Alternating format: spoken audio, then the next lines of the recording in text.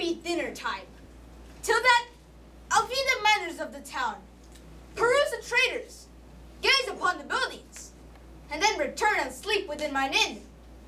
For with long travel, I am stiff and weary. Get thee away! Many a man would take you at your word, and go indeed, having so good at me.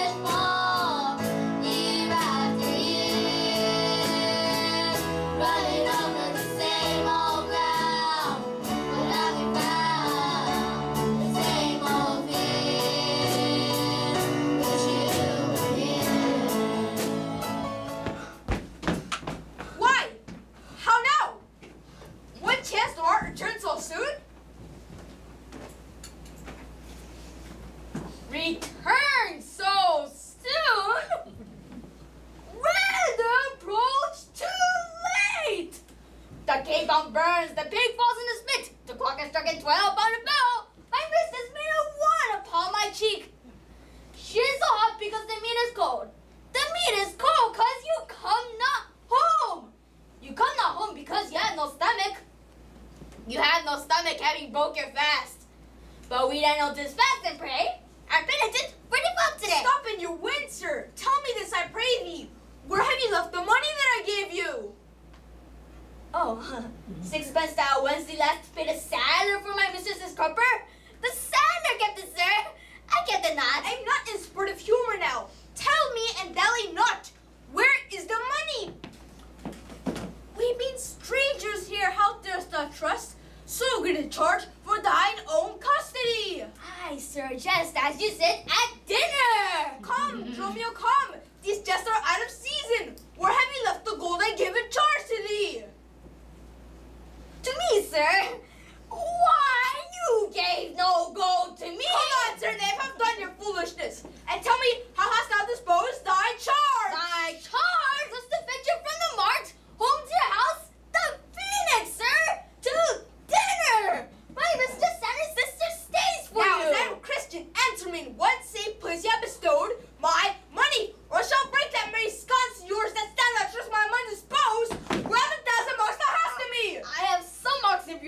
my pate.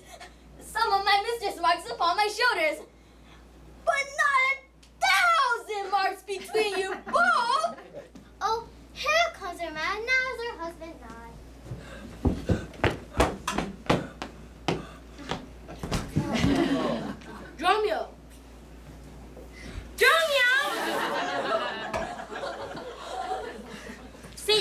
Master mastered in our hand? Nay, he's at two hands of me, he's my two years can witness. Say, this house bigger? No stuff his mind. I, I told his mind upon my ear. Be sure his hand, I scarce can understand it. But say, I prithee, is it coming home? It seems he has great care to please his wife. Why, mister, sure my master is hard mad. Hard mad, thou villain! I mean not cuckold man, but sure you stark man.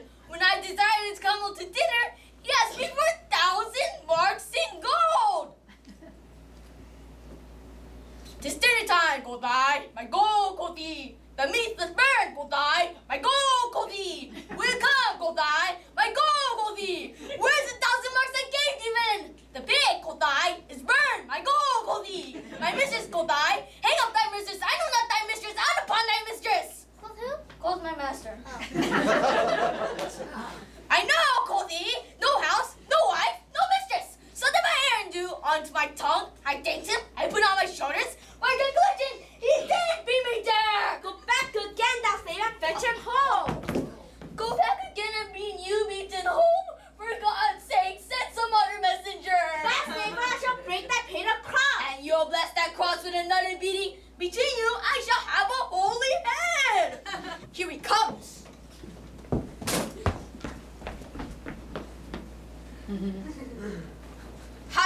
sir?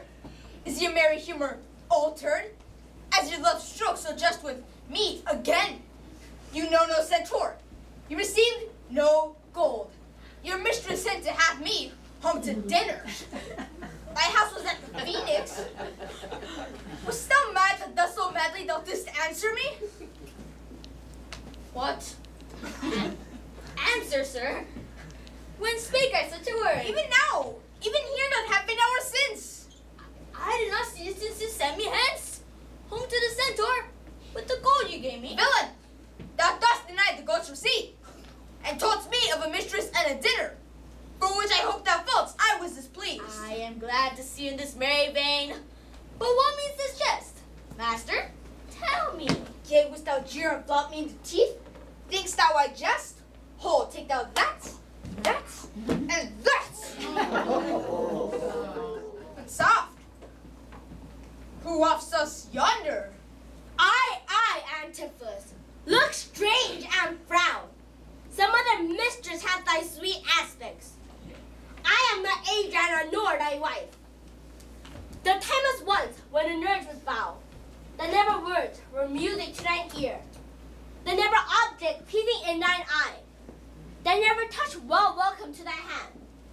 The never meet sweet savor in thy tasteless eye. Speak, or look, or touch, or carve to thee. How comes it now, my husband? Oh, how comes it? Come, I will fasten on the sleeve of thine. Thou art an elm, my hus- husband, I abide, whose weakness married to thy younger state. Give me with thy strength to communicate. If one possess me, it is just.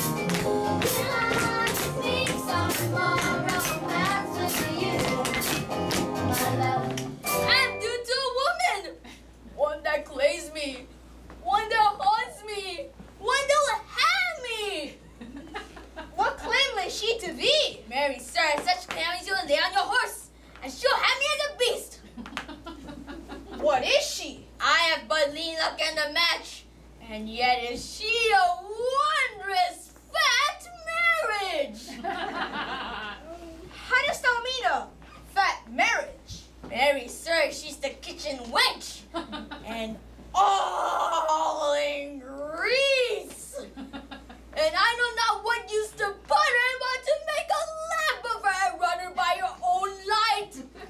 I wore the rags and the towel on them will burn up whole in winter. If she live till doomsday, she'll burn a week longer than the whole world. What complexion is she of? Sword like my shoe, but her face nothing like so clean kept. For why? She sweats. a man may go over shoes in the grime of it. That's a fucking Waterloo man! Oh no, sir, this ain't grain. No one's flock cannot do it. What's her name? No, sir. And her name at three quarters. That's an L and three quarters.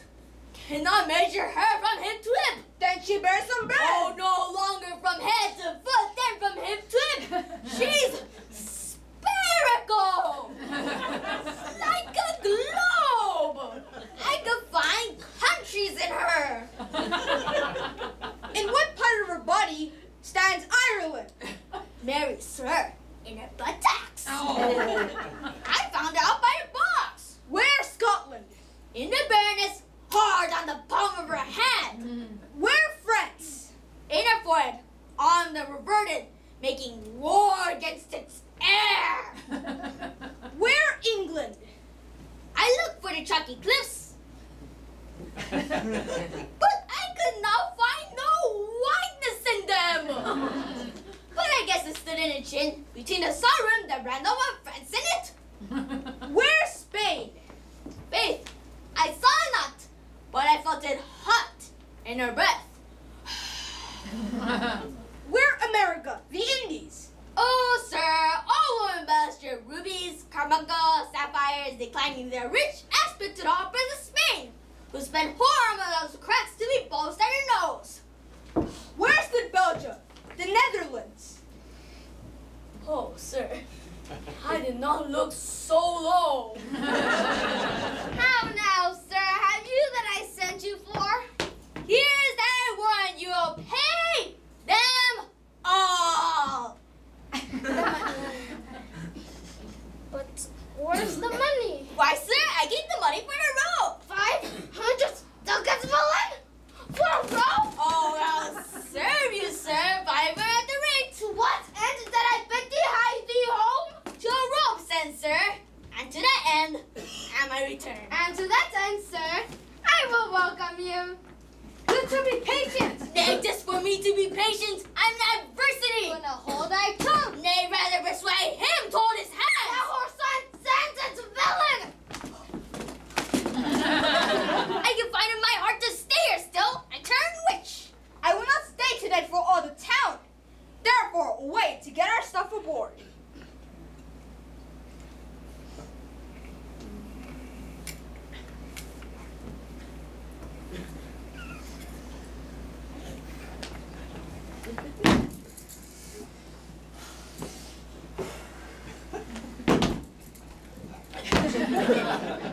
Mr. Mr. Ship, that save yourself. My master and his man are both broke loose. Peace, fool. Thy master and his man are here. And that is false thou dost report to us.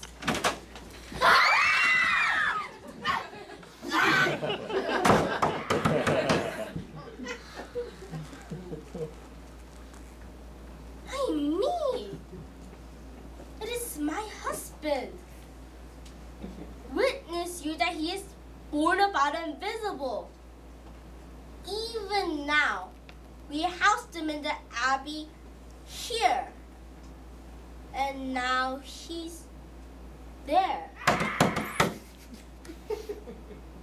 Here. there.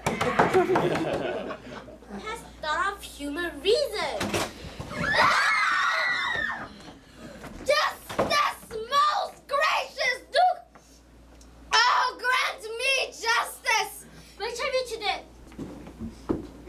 Dine with me today? I, gentle mistress. And are not you my husband? No, I say nay to that!